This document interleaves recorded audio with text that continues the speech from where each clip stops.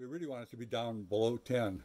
This is quite high, caused by the smoke in the air. Hello, I'm going to tell you how to make an air quality monitor. Something that's really needed here. I'm in California and the skies are just filled with smoke from the mega fires. We're starting with the sensor from Honeywell. It has a, a fan and a duct pulls air through this unit into a there's a small chamber in here shoots lasers at them and counts the particles this does all the hard work. Molex connector for that. When you buy this, you should buy this uh, Molex connector.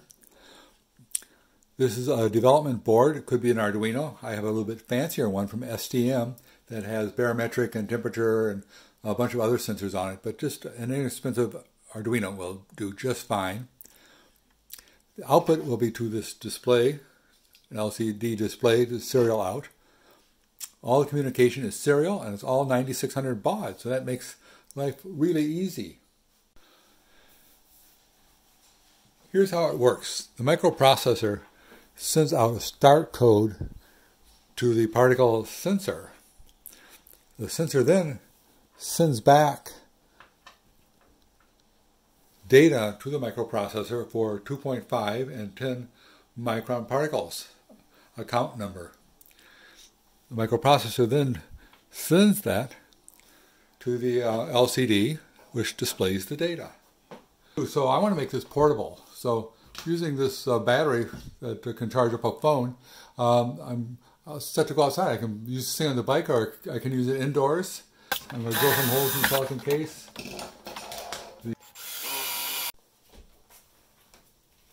I'm going to mount the battery at uh, Velcro.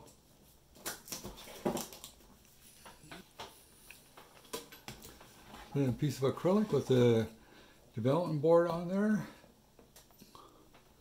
Molex on the particle sensor. I get uh, have two displays because I'm going to display a little bit more than air quality there. Uh, we're going to say uh, humidity, uh, temperature, and barometric pressure. And here's the cord from the battery. Just put it into the USB for uh, the development board. Oh. Keep on there.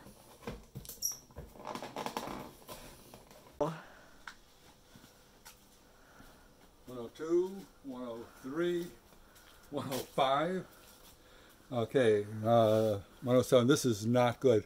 We really want it to be down below 10. Okay, uh, 99, 98, we're in. It's high now. It's going down rapidly.